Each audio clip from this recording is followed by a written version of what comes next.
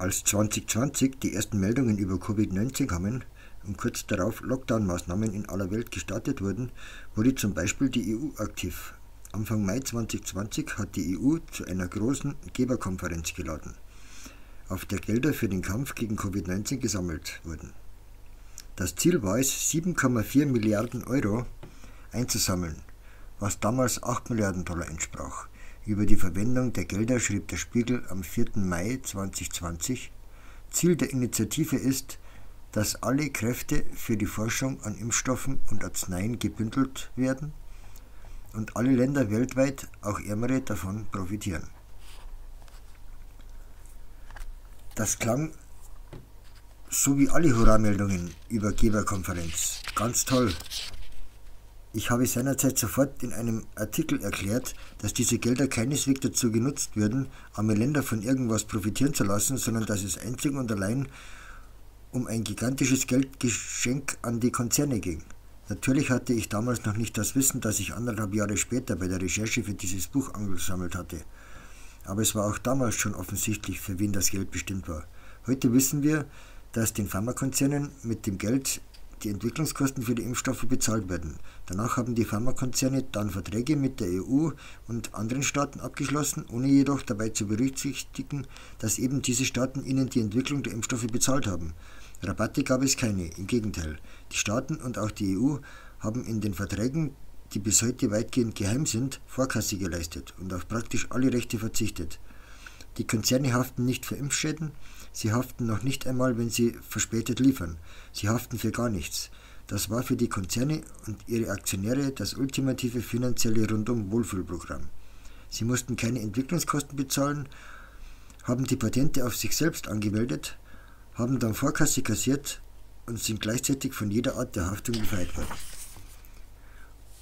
und das edle Ziel, auch den armen Ländern einen gleichberechtigten Zugang zu den Impfstoffen zu gewähren, wurde ebenfalls nicht umgesetzt, wie wir heute wissen. Jetzt, November 2021, sind zwar in den reichen Ländern des Westens genug Impfstoffe vorhanden, um den Menschen bereits Drittimpfungen anzubieten, aber in den armen Ländern der Welt liegt die Impfquote bei 3%.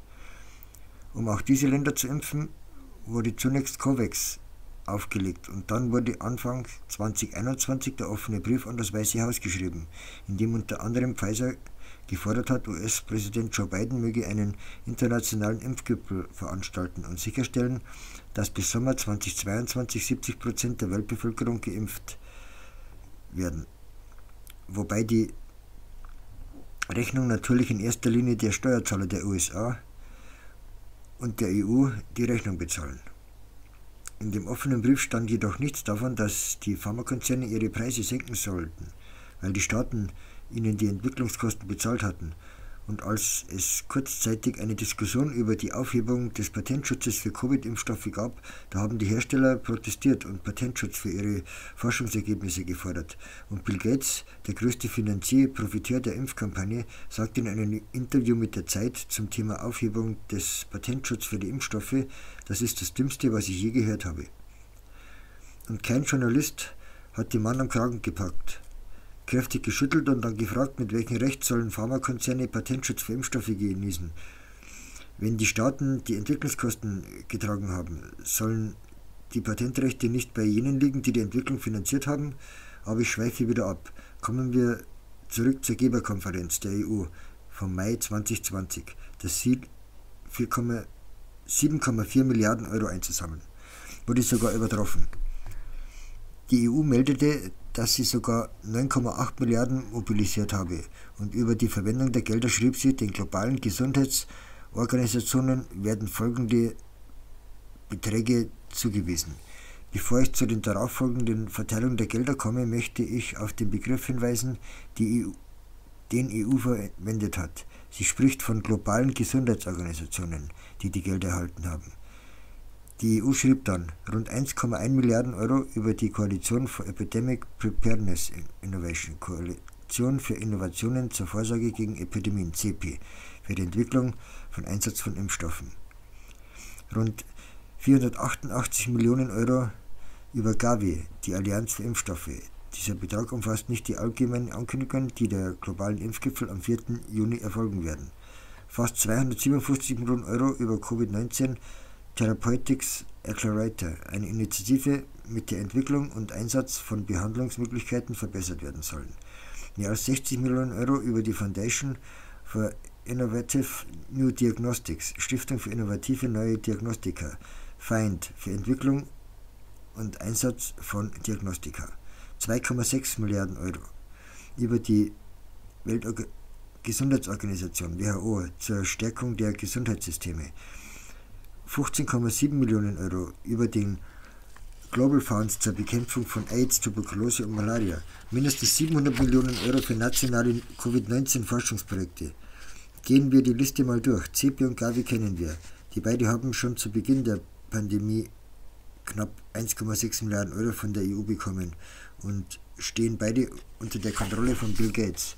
Beide haben die Gelder dann an die Pharmakonzerne weitergeleitet. Der Covid-19 Therapeutics Accelerator ist jedenfalls eine Initiative von Bill Gates und dem Wellcome Trust, für die sie je 50 Millionen Dollar bereitgestellt haben.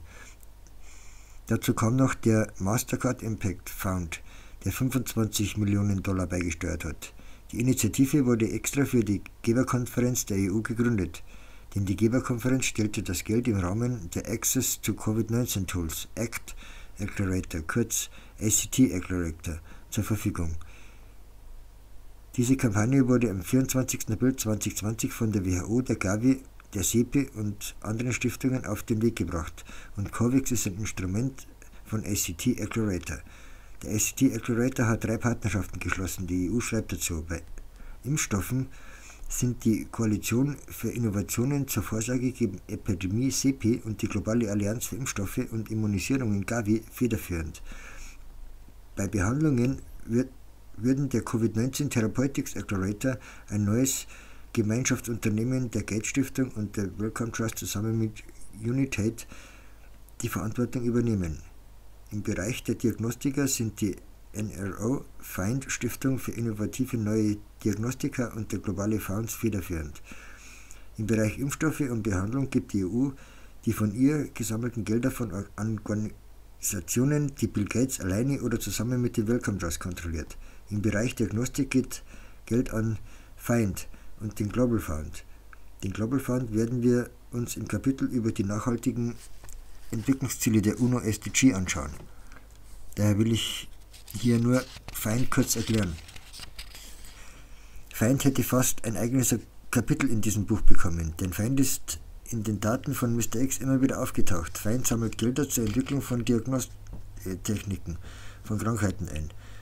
Dabei arbeitet Feind sehr eng mit CarpX zusammen, einer NGO, die ebenfalls von all unseren Philanthropen finanziert wird und sich auf Erforschung von multiresistenten Keimen spezialisiert hat das Feind und das CarpX entgegen unserer ursprünglichen Planung kein eigenes Kapitel in diesem Buch bekommen haben, obwohl sie von den gleichen Leuten und Stiftungen finanziert wurden und damit von ihnen genau abhängig sind wie die anderen NGOs, die in diesem Buch behandelt werden. Hat einen einfachen Grund. Die Muster der Finanzierung von Feind und CAPEX passen nicht zur Pandemievorbereitung. Wenn wir bei den anderen in diesem Buch genannten NGOs, Thinktanks und Stiftungen anhand der Geldflüsse und Aktivitäten klar sehen, dass sie in den Jahren vor der Pandemie extrem aktiv waren oder sogar extra gegründet wurden. Siehe zum Beispiel CP. Und die Aktivitäten von Feind und CAPEX stabil und weisen keine solchen erkennbaren Muster auf. Das hat Mr. X mich während unserer Arbeit an diesem Buch zu einem bitteren Scherz gebracht dass die nächste Pandemie wohl von einem multiresistenten Keim kommen wird. Auch Feind steht unter weitgehender Kontrolle von Bill Gates, denn seine Bill and Melinda Gates Foundation hat Feind seit 2011 etwa 80 Millionen Dollar überwiesen. Im Jahresbericht von Feind für 2018 kann man erfahren, dass Feind in dem Jahr 57,5 Millionen Dollar an Spenden eingenommen hat. Davon kommen 6,8 Millionen von Gates und 7,3 Millionen von Global Fund. Der Rest kam fast komplett von verschiedenen Staaten und Regierungen. Das Prinzip der öffentlich-privaten Partnerschaften, bei denen die Steuerzahler zahlen und die Oligarchen und Konzerne verdienen, gilt auch bei Feind. Da auch die WHO weitgehend von Bill Gates gekapert wurde, kann man festhalten, die EU hat über die Verwendung von ca. 4,2 Milliarden Euro berichtet, die sie im Rahmen der Geberkonferenz vom Mai 2020 eingesammelt hat. Von diesen Circa 4,2 Milliarden sind 3,5 Milliarden an Organisationen gegangen, die von Bill Gates gegründet und oder von ihm mit kontrolliert werden. Ob die 700 Millionen für nationale Covid-19-Forschungsprojekte bereitgestellt wurden, ebenfalls in Projekte fließen, auf denen Gates seine Hände hat, ist nicht ersichtlich, aber nicht ausgeschlossen. Das aber ist in der Öffentlichkeit weder bekannt noch bewusst. Dabei hat die EU-Kommission aus Anlass der Geberkonferenz sogar einen dreiseitigen Werkblatt veröffentlicht, auf dem das sehr anschaulich visualisiert wird. Ganz oben steht der ACT Accelerator, der die weltweite Führungsrolle übernehmen soll. Darunter kommt eine Moderationsgruppe zur Überwachung und Berichterstattung über die Fortschritte zur Mobilisierung von Ressourcen und für den Kontakt mit Interessengruppen, Partner des öffentlichen Sektors und gemeinnützige Partner des privaten Sektors. Und als Partner werden aufgeführt WHO, Bill and Melinda Gates Foundation, Weltwirtschaftsforum und Weltkontrast. Die sollen den ICT Accelerator der EU für den Kampf gegen Covid-19 umsetzen. Wie das gehen soll, geht auch aus der Grafik hervor. Die WHO soll das über eine Koordinierungszelle unterstützen und federführend bei der Produktverteilung sein, wobei sie von dem von CEPI und Gavi und dem von Bill Gates extra dafür aus der Taufe gehobenen Therapeutics Accelerator unterstützt wird. Weitere Unterstützer sind der Global Fund, Find und Unitate. Unitate wurde 2006 gegründet und ist bei der WHO angesiedelt.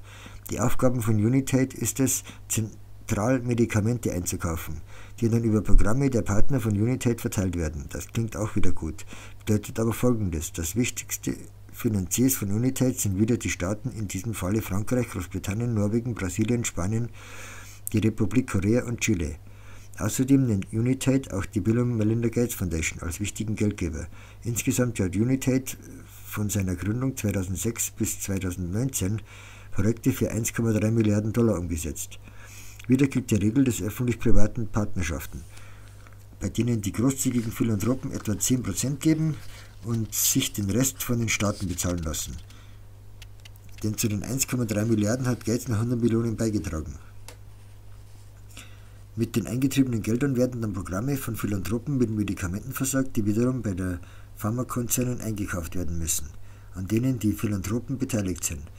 Unter den Partnerorganisationen, die von Unitate unterstützt werden, sind wieder viele alte Bekannte. Medicines for Malaria Venture, Find, Pest, der Global Fund und so weiter. Wir haben es also mit einem sehr ausgeknüdelten System zu tun, bei dem die Philanthropen als Weltenretter präsentiert werden, die ihr Geld ganz selbstlos zur Rettung der Welt bereitstellen, in Wirklichkeit aber die Steuerzahler die Rechnung bezahlen, indem sie für die Programme nötigen Waren bei den Konzernen einkaufen, an denen die edlen Philanthropen beteiligt sind. Und dieses System findet sich einfach überall. Und die EU-Geberkonferenz vom Mai 2020 hat all die Milliarden genau dafür ausgegeben. Die SEPI ist ein weiteres Instrument in diesem Spiel und sie stand nach ihrer Gründung genau rechtzeitig bereit, um ihre Rolle bei der Bekämpfung der Covid-19-Pandemie zu übernehmen. Ein wahrlich gutes Timing. Bill and Melinda Gates Foundation. Bill Gates wird von den Medien heute als selbstloser Mann dargestellt, der großzügig sein Vermögen einsetzt, um die Welt vor allen möglichen Katastrophen zu bewahren, die Bildung von Kindern zu fördern, Krankheiten zu bekämpfen und natürlich Impfungen zu fördern. Das alles tut Bill Gates, so die heute verbreitete Legende, nur aus Liebe zur Menschheit. Das Bild von Bill Gates in den Medien war aber nicht immer so positiv, wie es heute dargestellt wird. Die Älteren unter uns erinnern sich an die 90er Jahre, als Bill Gates sehr negative Presse hatte, weil er mit Microsoft rücksichtslos ein Monopol aufgebaut hatte. Gates war als skrupelloser, macht- und geldgieriger Geschäftsmann bekannt, der ohne zu zögern zu ausgesprochen unfairen Mitteln gegriffen hat, wenn sie ihm nutzten.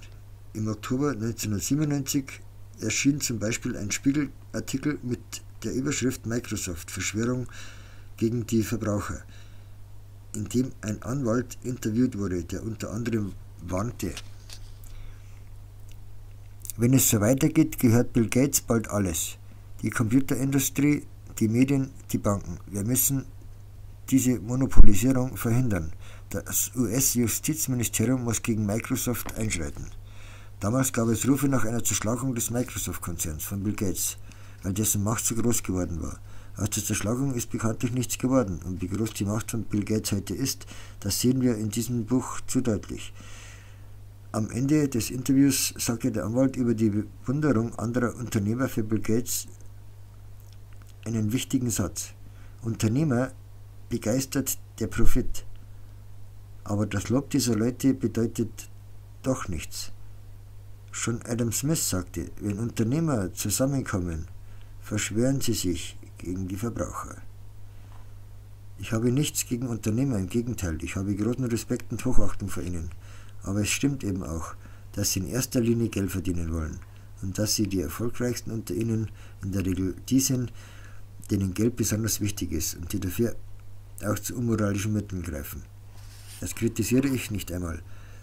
Es liegt einfach in der Natur der Sache. Wenn jemand wirklich erfolgreich ist, dann geht es nicht mehr um Geld. Denn wer zehn Villen, ein paar Yachten und Privatjets hat, der braucht nicht noch mehr Geld. Dann geht es um Macht. Und Geld ist bestenfalls noch der Maßstab, an dem man Macht zum Einfluss messen kann. Wir haben gesehen, dass die meisten unserer edlen Philanthropen in ihrem früheren Leben als Geschäftsleute hochgradig skrupellos waren, wenn es darum ging, ihre Ziele zu erreichen und Geld und Macht anzuhäufen. Wie realistisch ist es da, dass die über Nacht zu Menschenfreunden werden, die all ihr mühsam aufgebautes Vermögen mit vollen Händen zur Rettung der Menschheit ausgeben? Wie wir gesehen haben, verdienen die in Wahrheit an ihren philanthropischen Projekten. Sie denken sich wohlklingende Parolen aus und sammeln in deren Namen Geld ein. Es geht nicht darum, Gutes zu tun, es geht um Macht und Geld. Wir müssen uns daher an das Zitat von Adam Smith erinnern und uns in Erinnerung rufen, dass all jene, die uns von Medien und Politik als großzügige und selbstlose Philanthropen präsentiert werden, Unternehmer sind. Und nicht nur das, es handelt sich bei ihnen um die reichsten und mächtigsten Unternehmer der Welt, die ihre Macht und ihren Reichtum mit teilweise ausgesprochen skrupellosen Mitteln angehäuft haben. Bill Gates und seine Gier nach Macht, die er ursprünglich mit dem Monopol von Microsoft erreichen wollte, ist dafür nur ein Beispiel. Nehmen wir George Soros, der heute von Medien und Politik ebenfalls als edler Kämpfer für freie Gesellschaften, Menschenrechte und Demokratie gefeiert wird. Erinnern Sie sich noch daran, wie der so reich und mächtig geworden ist? Der Stichtag von Soros war der 16. September 1992, der Tag, als schwarzer Mittwoch in die Börsengeschichte eingegangen. Spekulanten, der wichtigste davon war Soros, hatten Wetten gegen das britische Pfund abgeschlossen. Und als die Währung einbrach, haben die Spekulanten gigantische Summen verdient. George Soros hat egoistisch und skrupellos ein Land angegriffen und damit deren Wirtschaft und vor allem den Menschen in den Land schweren Schaden zugefügt. Denn nach der Abwertung des britischen Pfunds waren ihre Ersparnisse und Einkommen plötzlich viel weniger wert als noch am Tag zuvor. Gleich danach, im Jahr 1993, gründete Soros dann ein Netz aus Open Science Foundations in Osteuropa und begann darüber massiv politische Macht auszuüben, um seine Geschäfte zu unterstützen. Soros spekuliert mit Währungen und Staatsschulden und er nutzt seine Macht, um diese Geschäfte abzusichern und lukrativer zu machen. Trotzdem sollen wir glauben, dass Bill Gates, George Soros und all die anderen Oligarchen nach den Gründungen ihrer Stiftungen von Saulus zum Paulus geworden sind und dass sie plötzlich nur noch Gutes tun und all ihr Vermögen zum Wohle der Menschheit verschenken wollen, nachdem sie ihre Milliarden zuvor durch skrupellose Geschäftsmethoden, bei denen sie lächelnd über Leichen gegangen sind, verdient haben. Im März 1998 konnte man in einem Spiegelartikel mit der Überschrift Monster Microsoft unter anderem lesen, Heute gilt Bill Gates als der gnadenlose Geschäftsmann, der weltweit als Bedrohung wie in einem Zerspiegel sehen Amerikaner, Asiaten und Europäer jetzt die böse Fratze eines Genies, der die Welt mit seiner Informationstechnik beherrschen will. Gates wolle die Welt nicht bloß verändern, meinen bereits 1993 seine Biografen Stephen Mains und Paul Andrews. Er will sie beherrschen. Microsoft nutzt sein Monopol auf ungesetzliche Weise, um seine Alleinherrschaft zu verteidigen und zu erweitern erklärte Ende Oktober vergangenen Jahres die streitbare Justizministerium. An Versuchen, die Dampfwalze Microsoft zu stoppen, mangelte es nicht. Doch alle sind gescheitert an den knallharten Geschäftsmethoden und der weitsichtigen Strategie des Firmengründers. Heute diffamieren die Medien jeden, der Gates vorwirft, der, voll, der wolle die Welt beherrschen, als Verschwörungsideologen und selbsternannten Faktenchecker stützen sich auf jede Kritik an Bill Gates und seine Methoden und bezeichnen Kritik als Verschwörungstheorien. Was die Medien in den 90er Jahren noch selber getan haben, nämlich die Methoden von Gates zu kritisieren, das bekämpfen sie heute mit Inbrunst. Die Gründe dafür werden wir im Kapitel über die Medien noch genauer anschauen. Aber eines kann ich vorwegnehmen. Es hat nichts damit zu tun, dass Bill Gates oder seine Methoden sich geändert hätten. 1994 hat Bill Gates zunächst die William H. Gates Foundation gegründet, die von seinem Vater geleitet wurde. Im Jahr 1999 gründete er dann die Bill and Melinda Gates Foundation, die im Jahr 2000 mit der William H. Gates Foundation und einer weiteren von ihm gegründeten Stiftung fusioniert wurden. Fast von Anfang an wurde an der Bill Melinda Gates Foundation genau die Kritik geäußert, die ich auch in diesem Buch äußerte. Die Foundation beteiligt sich an den Firmen, die an den philanthropischen Projekten von Bill Gates verdienen. Mehr noch, Bill Gates beteiligt sich an den Firmen, die die Probleme, gegen die angeblich kämpft, erst erschaffen haben oder zumindest verschärfen. Das bedeutet, dass Bill Gates sowohl an der Schaffung der Probleme, die er lösen will, verdient, als auch an den Lösungen, die er anstößt und fördert. 2015 zum Beispiel konnte man in Deutschland folgende Kritik lesen. Mit einem Budget von mehr als 42 Milliarden Dollar ist die Stiftung von Microsoft-Gründer Bill Gates die reichste, mächtigste der Welt. Mit diesem Geld bestimme sie über die Zukunft aller gesellschaftsrelevanten Bereiche wie Gesundheitsbildung, Landwirtschaft, Armuts- und Hungerbekämpfung, sagte die Autorin Katrin Hartmann. Doch das seien Bereiche, die unter demokratische Kontrolle gehören und nicht unter die von Milliardärstiftungen. In der Stiftung selbst sitzen Angehörige der Pharma- und Saatgutindustrie, wie beispielsweise Monsanto. Man kann praktisch sagen, die Stiftung selbst ist eine Lobbyorganisation und Privatisierungsmaschine. Und man muss durchaus die Frage stellen, möglicherweise, ob der Schaden, der durch die Investments angerichtet wird, die diese Stiftung tätigt und mit denen sie ihre vielen Milliarden generiert, nicht sogar zu anderer Stelle womöglich die Hilfsprogramme zunichte macht oder erst die Probleme schafft, gegen die die Stiftung kämpfen will. So habe die Stiftung 2007 im Niger-Delta ein Impfprogramm gegen Polio gestartet. Die Menschen dort litten allerdings unter katastrophalen Folgen der Ölförderung, wie Asthma und einem schlechten Immunsystem. Im selben Jahr habe die Stiftung 423 Millionen Dollar in Aktien von BP, Exxon und Shell investiert. Das sei bis heute so. Die Stiftung investiert in Konzerne der Öl-, Kohle-, Chemie- und Bergbauindustrie. Darunter befinden sich einige der schmutzigsten Konzerne der Welt. Das sind Unternehmen, denen nicht nur Umweltzerstörung, sondern auch Menschenrechtsverletzungen vorgeworfen werden. Da kann man, wenn man es genau nimmt, sagen, die Stiftung hilft mit Blutgeld. Ebenfalls 2015 hat der britische Guardian sehr ausführlich über ein Beispiel aus Südafrika berichtet. Dabei geht es darum, wie Bill Gates sich für Projekte für Abwasserreinigung hat feiern lassen, während die Menschen in den betroffenen Gegenden unter den Umweltschäden von Ölraffinerien leiden, an denen Bill Gates beteiligt ist. Doch es gibt hohe Asthma- und Krebsraten. Aber Bill Gates hat nichts gegen die Umweltverschmutzung, sondern verdiente kräftig daran mit.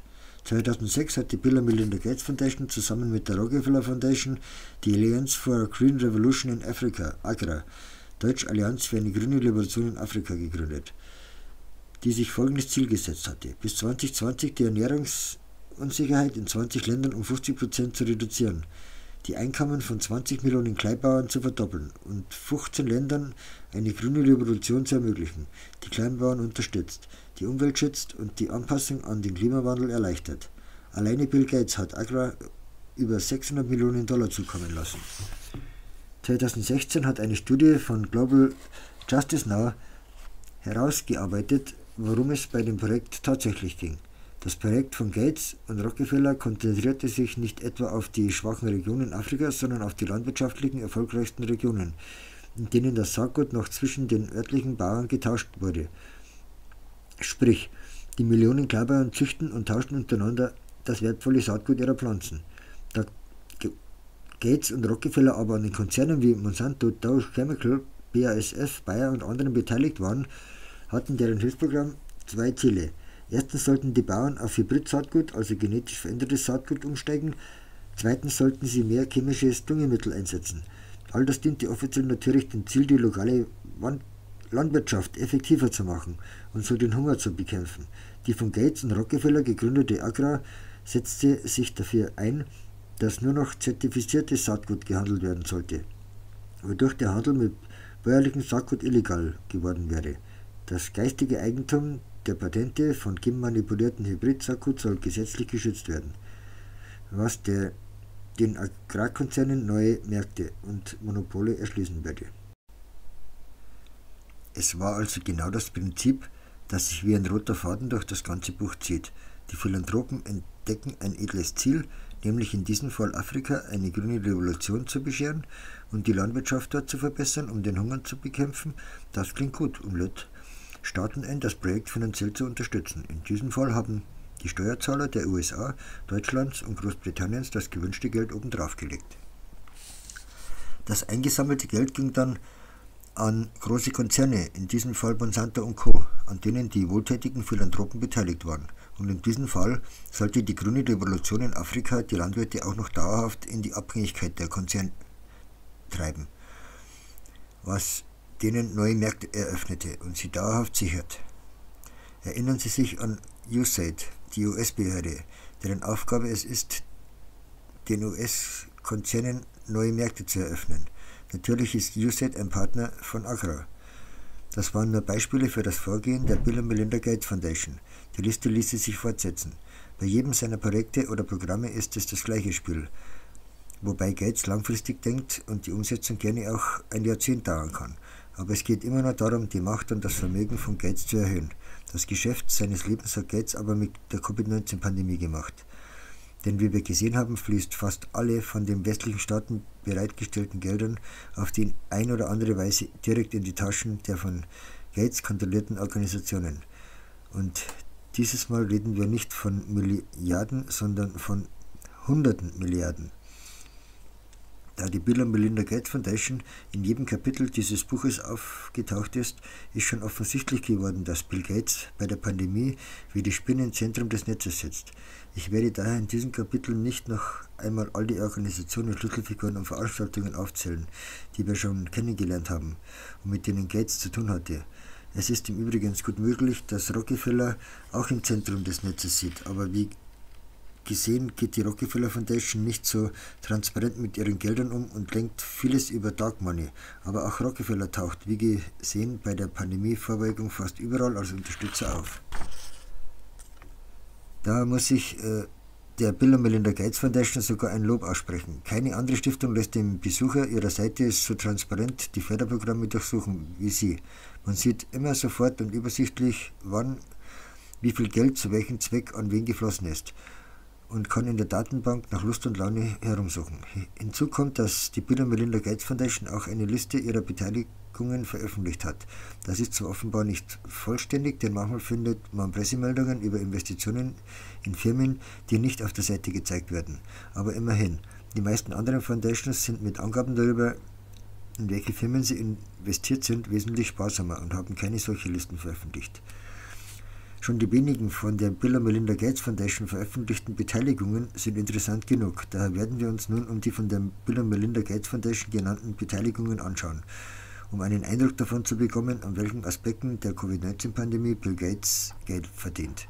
Und dabei muss ich daran erinnern, über die Verteilung von Milliarden, die Staaten seit Anfang 2020 für den Kampf gegen Covid-19 locker gemacht haben.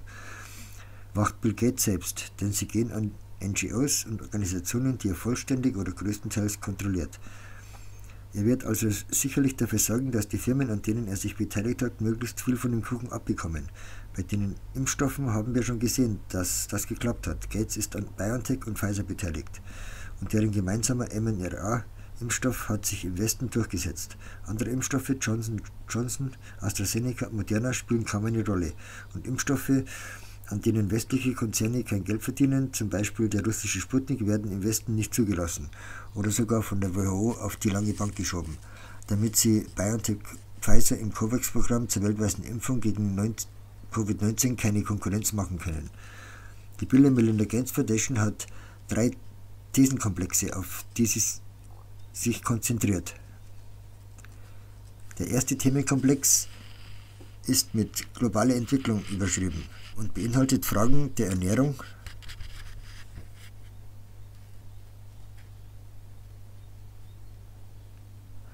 und der Landwirtschaft. Dass diese schön klingende Überschrift nicht das meint, was man darunter verstehen soll, zeigt das Beispiel der grünen afrikanischen Revolution. Unter dem Deckmantel, die Ernährungssituation in Afrika zu verbessern, wurden traditionelle Saatgutlieferketten zerstört und stattdessen gemanipulierte Saatgut in den Markt gedrückt, an dem Gates wiederum über seine Beteiligungen verdient hat. Die Ernährungssituation in Afrika ist dadurch nicht besser geworden, aber dafür ist die Geldbörse von Gates angewachsen. Entsprechend finden sich in den Investments der Bill und Melinda Gates Foundation viele Firmen, die mit Landwirtschaft Geld verdienen und Firmen, die mit genmanipulierten Pflanzen zu tun haben. Dass Bill Gates 2021 auch der größte Besitzer landwirtschaftlicher Flächen in den USA geworden ist, passt gut ins Bild. Er hat dabei die Preise für Ackerland massiv in die Höhe getrieben und Farmland für kleine Landwirte unerschwinglich gemacht, damit er sie langfristig aus dem Markt drängen dürfte. Der zweite Themenkomplex von den Gates fördern will, ist die globale Gesundheit. Gesundheitsthemen, Kampf gegen Viren und Bakterien als Krankheitserreger sind das wichtigste Standbein der Bill und Melinda Gates Foundation. Vor Beginn der Arbeit an diesem Buch habe ich die These gehört, Gates habe die weltweite Gesundheitsversorgung monopolisiert, was ich für übertrieben gehalten habe. Diese Meinung muss ich inzwischen revidieren, denn bei diesem Gesundheitsschema, auf das ich bei der Arbeit an diesem Buch gestoßen bin, tauchte die Bill Melinda Gates Foundation auf. Ich mag solche plakativen Formulierungen nicht, aber hier ist sie passend. Wie eine Krake hat Bill Gates seine Tentakel in jedem Bereich der weltweiten Gesundheitsversorgung ausgestreckt. Er beherrscht die WHO und alle wichtigen NGOs auf dieser Welt mobilisiert er Milliarden an Steuergeldern weltweit, über deren Verwendung er dann entscheidet und woran er dann verdient. Zu dem Thema globale Gesundheit gehört auch die Geburtenkontrolle, weshalb sich im Portfolio der Foundation einige Firmen aus diesem Gebiet finden. Der dritte Komplex der Bill Melinda Gates Foundation ist im Zusammenhang mit der Pandemie unwichtig, aber er spielt ebenfalls in die nachhaltige Entwicklungsziele der UNO SDG hinein. Denn dabei geht es um die Bildung. Was wieder gut klingt, bedeutet aber, dass Gates ganz konkret Einfluss daraus nimmt, was Kindern in Lehrplänen vermittelt werden soll. Und dabei liegt der Schwerpunkt auf ideologischen Themen.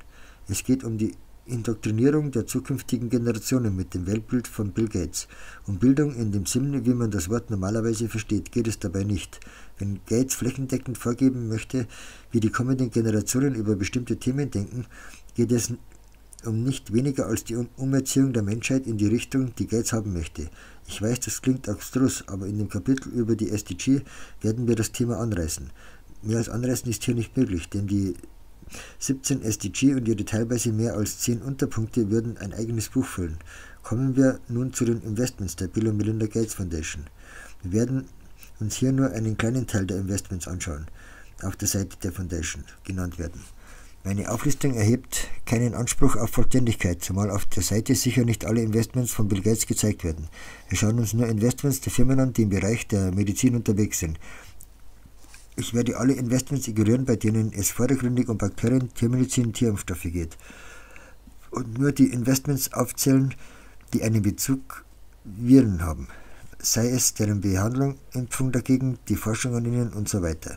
Beginnen wir mit dem Thema Impfstoffe. Im Januar 2011 hat die Bill und Melinda Gates Foundation in Liquida investiert. Liquida hat eine eigene Technologie, Print, entwickelt, die die Entwicklung und Herstellung hochgradig einheitlicher Arzneimittelpartikel und präziser Kontrolle über die Größe, dreidimensionale geometrische Form und chemische Zusammensetzung der Partikel ermöglicht.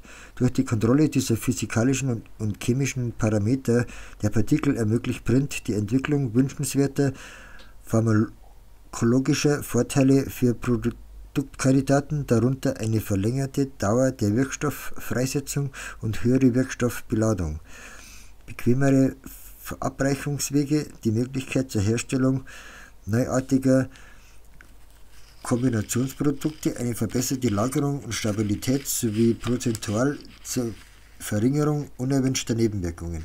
Liquide arbeitete unter anderem mit dem Pharmakonzern Sanders zusammen. Im September 2012 hat die Bill Melinda Gates Foundation in die Firma Atreca investiert. Um die Entdeckung und Entwicklung neuartiger Impfstoffe und Therapeutika für menschliche Infektionskrankheiten zu beschleunigen. Die Zusammenarbeit ist intensiv. Und der Trigger listet als Partner der Bill und Melinda Gates Foundation, GlaxoSmithKline, Novartis, Johnson Johnson, Sanofi, Pfizer und einige unserer altbekannten NGOs auf. Im April 2013 hat die Bill und Melinda Gates Foundation in BioE investiert. Innovative Ansätze zur Senkung der Kosten für die Impfstoffproduktion entwickelt. Das ist in der Pandemie besonders interessant, denn Bill Gates verdient nicht nur an den Impfstoffen, sondern auch, wenn die Impfstoffhersteller eine Impfstoffproduktion aufbauen. Er verdient an der gesamten Wertschöpfungskette des Impfstoffproduktion. BioE listet als Partner unter anderem die Bill Melinda Gates Foundation, die Clinton Foundation, CEPI, Gavi, GlaxoSmithKline, Merck, PASS, die WHO und diverse staatliche Gesundheitsbehörden auf. Im Oktober 2014 hat die Bill Melinda Gates Foundation in Avanex investiert, die an Impfstoffen gegen Lungenentzündungen forscht. Im März 2015 hat die Bill Melinda Gates Foundation in die deutsche Firma CureVac investiert, wobei es konkret um die Forschung an mRNA-Impfstoffen ging. Im September 2019 hat die Bill Melinda Gates Foundation in BioNTech investiert. Auch in Pfizer hat die Bill Melinda Gates Foundation investiert, nennt allerdings kein Datum. Auch an Firmen, die an Test- und Diagnosesystemen Geld verdienen, ist die Bill Melinda Gates Foundation beteiligt. Im September 2020 hat die Bill Melinda Gates Foundation in die Firma Abbott investiert, die einen Covid-19-Schnelltest entwickelt hatte. Ebenfalls im September 2020 hat die Bill Melinda Gates Foundation in Biosensor investiert, die auch einen Covid-19-Schnelltest auf den Markt gebracht hatten. Und nun kommt wieder eine der besonderen glücklichen Zufälle ins Spiel.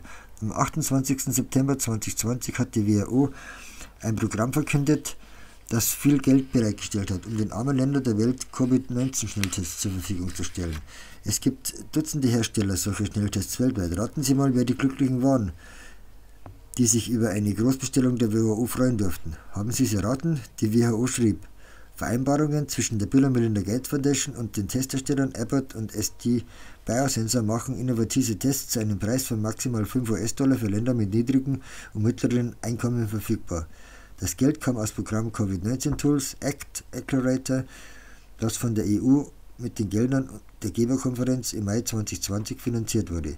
Bei dem WHO-Programm ging es um 120 Millionen Tests zu 5 Dollar pro Stück. Es ging also um 600 Millionen Dollar, die die Abbott und Biosensor von der WHO bekommen sollten. Und Bill Gates, der massive Einfluss auf die Entscheidungen der WHO hat, hat sich rein zufällig an den beiden Herstellern von Schnelltests beteiligt die sich noch im gleichen Monat über einen Großauftrag der WHO freuen durften. Zufällig gibt es auch die Behandlung von Covid-19-Erkrankungen ist ein erträgliches Geschäftsfeld. Im Juni 2016 hat die Bill und Melinda Gates Foundation in Just Biotherapeutics investiert und schrieb dazu, Just Biotherapeutics entwickelt eine integrierte Technologieplattform, um die Entwicklung und Herstellung hochwertiger Biologika zu deutlich niedrigeren Kosten zu beschleunigen und so den weltweiten Zugang zu Biologika zu erweitern. Die Investition der Stiftung unterstützt den Bau einer Produktionsanlage im Gegenzug für den Zugang zu einer kostengünstigen Produktion von Produktkandidaten für die globale Gesundheit. Die Stiftung unterstützt auch die Technologieentwicklung von Just, arbeitet mit dem Unternehmen bei mehreren Produkten zusammen. An dieser Technologie fand die deutsche Bio Biotechnologiefirma Evotech gefallen und sie ist im Mai 2019 bei Just Biotherapeutics eingestiegen. Im Zuge der kurz darauf ausgerufenen Pandemie hat das US-Verteidigungsministerium einen Auftrag zur Produktion von Covid-19-Antikörpern an Just vergeben, worauf die Bill und Melinda Gates Foundation sich im Oktober 2020 in ungenannter Höhe auch an Evantech beteiligt hat. Das Geld dafür ist aus dem Covid-19 Therapeutics Accelerator, also dem von der EU aufgelegten Programm gekommen, wie die ARD berichtet hat.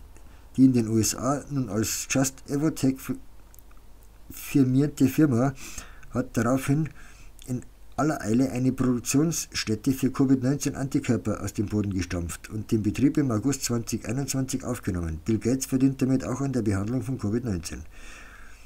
Im Oktober 2020 hat die Bill Melinda Gates Foundation sich auch an Lilly M-App beteiligt, einer Firma, die sich ebenfalls Covid-19-Antikörper produziert. Und das ebenfalls im Oktober 2020 gab Lilly bekannt, dass sie in den Genuss von Aufträgen aus dem Covid-19 Therapeutics Accelerator gekommen ist und dank ihrer Vereinbarung mit der Bill und Melinda Gates Foundation nun im Rahmen des von der EU aufgelegten finanzierten Covid-19 Therapeutics Accelerator Antikörper produzieren wird. Lilly arbeitet mit äh, monoklonalen Antikörpern zur Behandlung von Covid-19. Im Oktober 2020 hat die Bill und Melinda Gates Foundation sich an Lilly beteiligt. Und im November 2020 hat das Antikörpermedikament von Lilly in der USA eine Notfallzulassung erhalten. Auch hier scheint es offensichtlich so zu sein, dass es sehr hilfreich ist, Bill Gates als Investor in die eigene Firma zu holen, wenn man Aufträge im Rahmen der EU-Programme und anderer staatlicher Programme bekommen möchte. Meine weiter oben aufgestellte Behauptung, dass Bill Gates die Verwendung der von der EU zur Bekämpfung von Covid-19 angesammelten Steuergelder kontrolliert, findet eine Bestätigung nach der anderen. Nun wollen wir uns noch andere Beispiele für die Beteiligung der Bill und Melinda Gates Foundation anschauen, die nicht ohne weiteres einem konkreten äh, Thema zuzuordnen sind, aber trotzdem mit Covid-19 in Verbindung stehen oder zumindest in Verbindung stehen könnten. Im April 2013 hat die Bill Melinda Gates Foundation sich an Anacor Pharmaceuticals beteiligt. Das Beispiel zeigt auf, wie gut Bill Gates an seinen Investments verdient. Denn Bill Melinda Gates Foundation hat selbst ganz stolz einen Bericht verlinkt, in dem berichtet wird, dass Investments der Melinda, Melinda Gates Foundation Anaka Pharmaceuticals in Höhe von 221 Millionen Dollar innerhalb von zweieinhalb Jahren einen Wert von 4,5 Milliarden Dollar bekommen hat. Das Investment wurde seinerseits mit den üblichen schönen Worten begründet,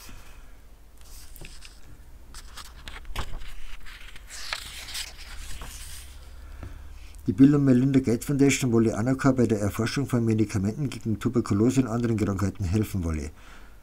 Gates hat an dem edlen Ziel richtig gut verdient, denn der Wert seines Investments hat sich innerhalb kürzester Zeit verzwanzigfacht.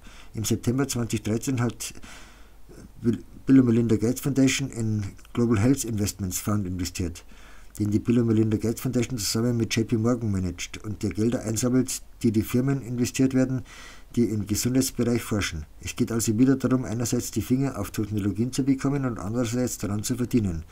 Wenn diese Technologien von staatlichen Hilfsprogrammen in Form von Medikamenten oder Impfstoffen gestellt werden. Im November 2016 hat die Bill und Melinda Gates Foundation gemeldet, dass die Kynap Group 100 Millionen Dollar für ein Forschungsprojekt eingesammelt hat. Die Firma ist demnach führend bei der Erforschung monoklonaler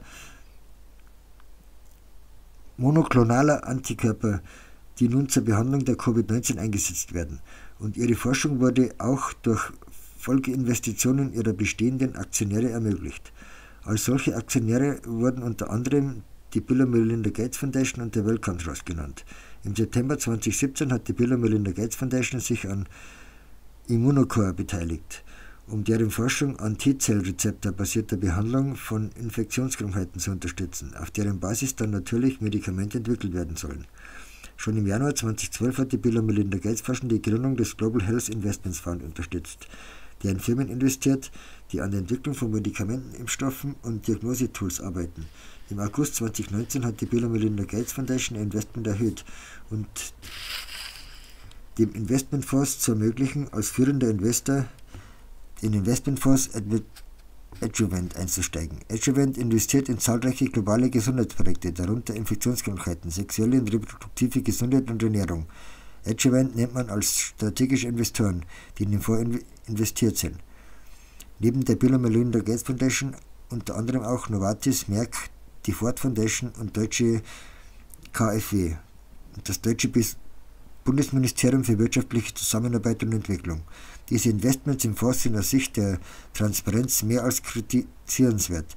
Denn wenn die Bill und Melinda Gates Foundation ihr Geld in Investmentfonds steckt, die wiederum in andere Investmentfonds investiert, dann wird damit verschleiert, auf welche Firmen die Bill und Melinda Gates Foundation Einfluss hat und woran sie Geld verdient. Das Thema hatten wir beim Thema Rockefeller Foundation schon, denn bei Rockefeller ist aufgrund der verschachtelten Beteiligung nicht mehr erkennbar, woran der Rockefeller-Clan in Wahrheit beteiligt ist und woran der Clan Geld verdient. So werden Interessenkonflikte verschleiert. Aber das ist gewollt, denn die wohltätigen NGOs sind nicht daran interessiert, dass es für die Öffentlichkeit nachvollziehbar ist, woran sie Geld verdienen. Der Weltkontrast lässt seine Beteiligung deshalb teilweise oder vollständig über Offshore-Firmen laufen, um sie zu verschleiern. Die Beteiligung der Bill und Melinda Gates Foundation zeigen zweifelsfrei auf, dass Bill Gates sich im Gesundheitsbereich sehr breit aufgestellt und die weltweite Gesundheitspolitik im Grunde monopolisiert hat.